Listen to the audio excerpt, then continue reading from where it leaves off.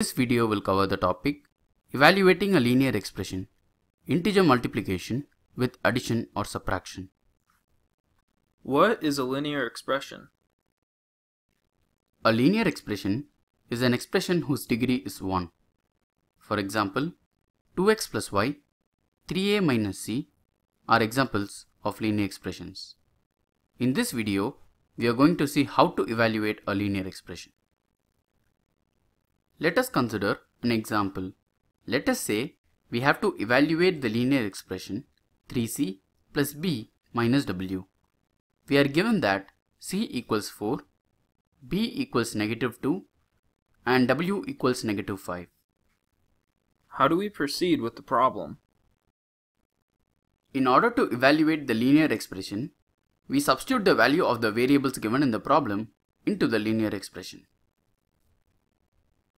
By variables, do you mean c, b, and w?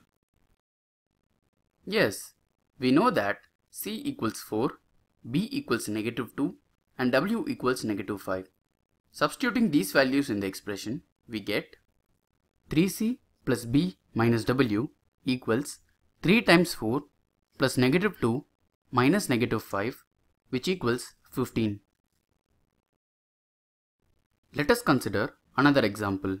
Let us say we have the linear expression 6a plus 2x minus 3y and we are given that a equals 1, x equals 4 and y equals 3. Okay, in order to evaluate the linear expression, we substitute the value of a, x, and y in the expression. Yes, that is right.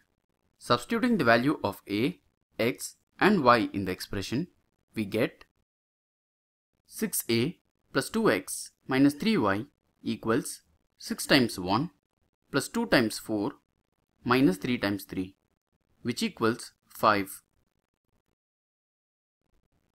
Okay, in order to evaluate a linear expression, we substitute the values of the variables in the linear expression and simplify to obtain the answer.